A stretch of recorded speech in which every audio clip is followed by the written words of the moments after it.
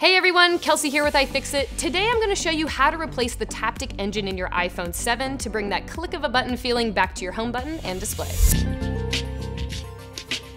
For this repair you're going to need a P2 Pentalobe screwdriver, an iOpener, a suction cup, a spudger, some iFixit opening picks, a tri-point Y000 screwdriver, some tweezers, and a Phillips 00 screwdriver.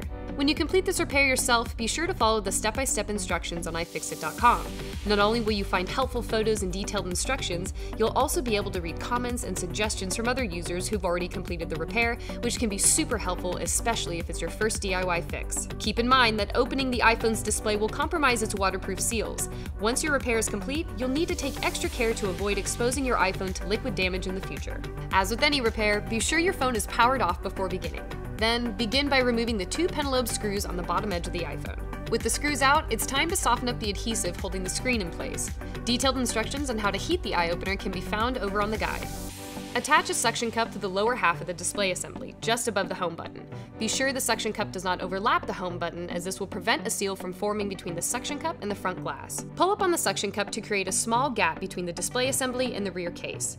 Then grab your spudger and insert the flat end into the gap. Slide the spudger to the left along the lower edge of the iPhone. Now, slide the spudger up the left side of the iPhone starting at the lower edge and move towards the volume control buttons and silent switch. Now, do the same thing starting from the bottom right corner. Pull up on the suction cup to lift up the display, but be careful not to raise the display more than 10 degrees. Go ahead and remove the suction cup and slide an opening pick along the top edge of the iPhone between the rear case and the front panel.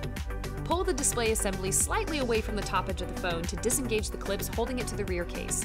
Open the iPhone by swinging the display up from the left side, but don't try to fully separate it just yet. There are ribbon cables still connecting it to the logic board.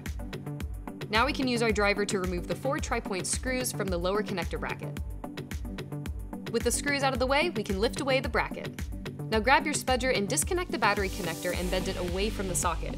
Then use the flat end of the spudger to pry the two lower display connectors straight up from their sockets on the logic board.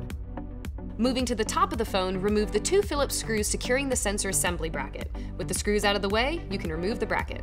Grab your spudger and disconnect the front panel sensor assembly from its socket and remove the display assembly. Next, take out the two Phillips screws to remove the barometric vent from the rear case.